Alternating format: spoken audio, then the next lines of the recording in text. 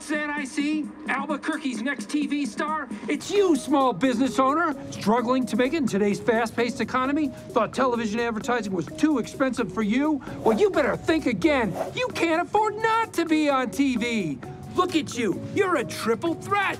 Great services, great products, and most of all, that face. You're a star. Wrap it all up in your natural charisma, and bam, you belong on TV. Better watch out for autograph hounds and paparazzi.